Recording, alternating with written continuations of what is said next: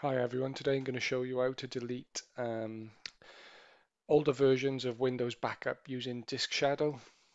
As you can see on this server, um, the backup drive, which is Y, has very little space left.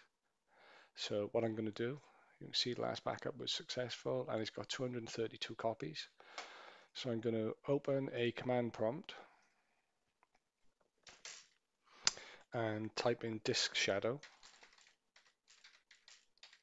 press enter.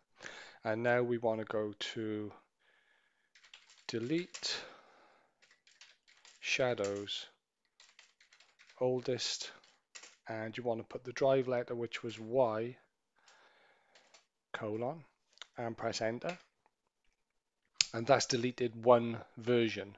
So we would be down to 231 so just if I show you um, so we've got 36.7 gig if I go back to the command prompt you could write a script to do this. Um, doesn't take too long, but if I just delete a couple just to show you, because we don't need 200 backups worth.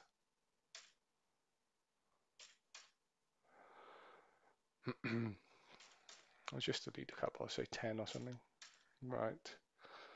So let's look at the backup and let's hit a refresh. And you can see we're up to 50 odd gig free now. So that's worked great. This won't refresh because Windows backup, but we all know that.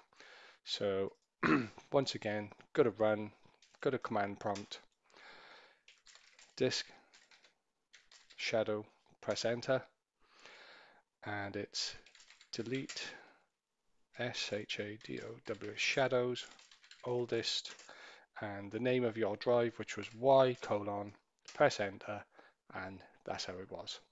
Hope you enjoyed the vid. Don't forget to like and subscribe, and thanks for watching.